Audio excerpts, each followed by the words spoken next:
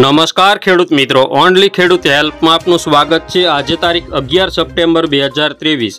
આજના સાંજના સાત વાગ્યાના મહત્વના લાઈવ હવામાન સમાચાર જાણીશું જેમાં અત્યારે જે મોડલમાં ફેરફાર થયો છે E C M W F મોડલની લાઈવ અપડેટ આપના સુધી પહોંચાડું છું. કયા કયા વિસ્તારોમાં વરસાદની શરૂઆત થશે આજથી આગામી સમયમાં વીસ તારીખ સુધીની અપડેટ જોવાની છે, જેમાં કયા દિવસે કેટલો વરસાદ કયા વિસ્તારમાં પડશે તેની પણ વાત કરવાની છે. તો ચેનલમાં નવા હોય તો સબસ્ક્રાઇબ કરી નાખજો અને વીડિયો તમારા તમામ ગ્રુપની અંદર શેર કરી દેજો. તો જોઈએ અત્યારની લાઈવ અપડેટ. અત્યારે મિત્રો ખાસ કરીને વાદળછાયા વાતાવરણ વચ્ચે બાબરા પંથક, ગઢડા, વલભીપુર, શિહોર, પાલીતાણા, ગારિયાધારથી આજુબાજુના જે વિસ્તારો છે તેમાં ક્યાંક હળવા છૂટા છવાયા વરસાદી ઝાપટું પડ્યું હોય તેવી શક્યતાઓ અત્યારે એટલે કે તેવી સંભાવના છે અથવા હજુ અત્યારે વાદળછાયું વાતાવરણ થઈ અને વરસાદી ઝાપટું પડવાની સંભાવના પણ ગણી શકાય.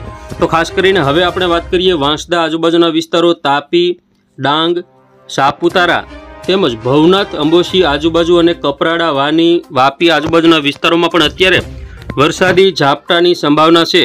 આવતીકાલની વાત કરીએ તો આવતીકાલે જે સૌરાષ્ટ્રના જે વિસ્તારો છે, દ્વારિકા, ભાણવડ, પોરબંદર તેમજ વેરાવળ આજુબાજુના વિસ્તારો છે, તેમજ દક્ષિણ ગુજરાતમાં સુરત, તાપી, વલસાડ, નવસારી અને ડાંગ જિલ્લામાં પણ હળવા વરસાદી ઝાપટાની શક્યતા છે.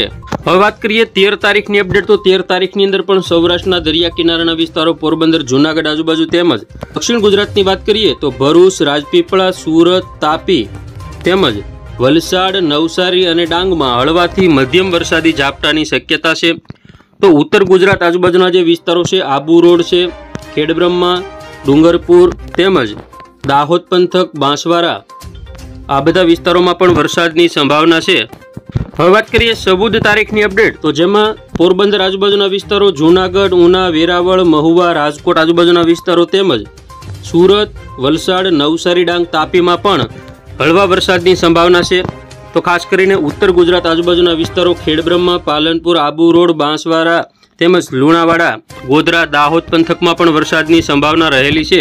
હવે મિત્રો વાત કરીએ પંદર તારીખની અપડેટ. તો પંદર તારીખમાં જીએફએસ મોડલ અનુસાર વેરાવળ, ઉના, મહુવા, અલંગ તેમજ અમરેલીના વિસ્તારો ધારી, બગસરા, વિસાવદર, ભાવનગર, પાલિતાણા, ગારિયાધાર, બોટાદ આજુબાજુના વિસ્તારો તેમજ મધ્ય ગુજરાતમાં ધોળકા, નડિયાદ, ગોધરા, લુણાવાડા, દાહોદ વડોદરા છોટાઉદેપુર આજુબાજુના વિસ્તારો તેમજ અમોદ, ભરૂચ, રાજપીપળા, સુરત, તાપી તેમજ વલસાડ, નવસારી અને ડાંગ જિલ્લામાં પણ વરસાદની સંભાવના રહેલી છે. ઉત્તર ગુજરાતમાં પણ થોડો ઘણો વરસાદ પડી શકે. હવે સોળ તારીખની અપડેટ જોઈએ તો સોળ તારીખે સવારના સમયે ખાસ કરીને પોરબંદર, જૂનાગઢ, વેરાવળ, ઉના, મહુવા, અલંગ, ભાવનગર, અમરેલીના વિસ્તારો ધારી બગસરા વિસાવદર, ગારિયાધાર, પાલીતાણા, જેસર બગદાણા, જસદણ, બોટાદ, ચોટીલા, ગોંડલ તેમજ ઘોઘા પંથક શિહોર પંથક સુરેન્દ્રનગર અને બોટાદ, બરવાળા, ધંધુકા, ધોળકા, અમદાવાદ કપડવંશ ગાંધીનગર, લુણાવાડા, ગોધરા, દાહોદ, વડોદરા, નડિયાદ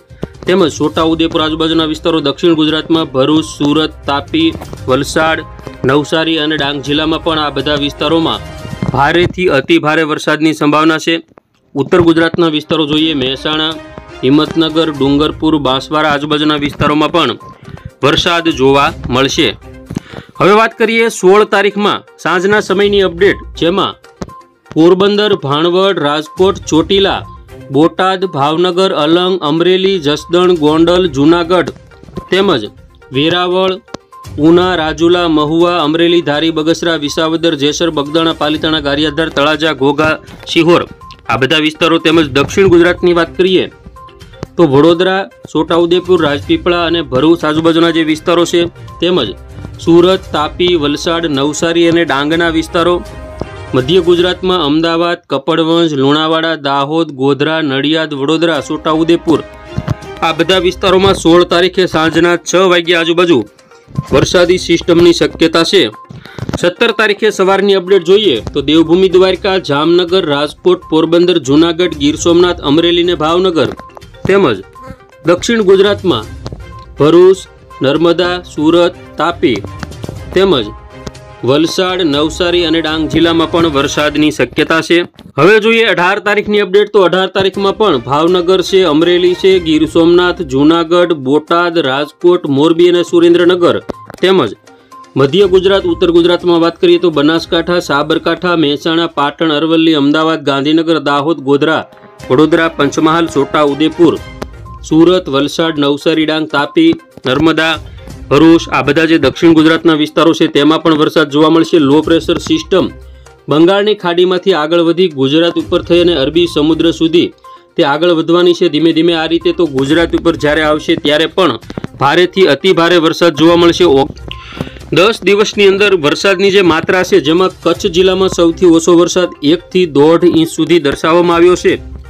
સૌરાષ્ટ્રમાં વાત કરીએ તો રાજકોટ બે ઇંચ, મોરબી એક ઇંચ, સુરેન્દ્રનગર અઢી, બોટાદમાં ત્રણ, જસદણમાં ત્રણ, ગોંડલમાં ત્રણ, જૂનાગઢ આજુબાજુ ચારથી પાંચ, અમરેલીમાં પાંચ, ભાવનગરમાં પાંચ, મહુવામાં પાંચથી છ ઇંચ, રાજુલાથી વેરાવળ, ઉના આજુબાજુ ચારથી પાંચ, દક્ષિણ ગુજરાતમાં રાજપીપળા ચાર, ભરૂચમાં ચાર તેમજ વલસાડ, તાપી, સુરત આ બધા વિસ્તારોમાં ચાર ઇંચ વલસાડમાં અને ડાંગમાં સાત ઇંચથી નવ ઇંચ વરસાદની શક્યતા. દાહોદ પંથકની વાત કરીએ, ગોધરા, દાહોદ ચાર કપડવંશ ત્રણ, નડિયાદમાં ત્રણ, વડોદરામાં પણ ત્રણ.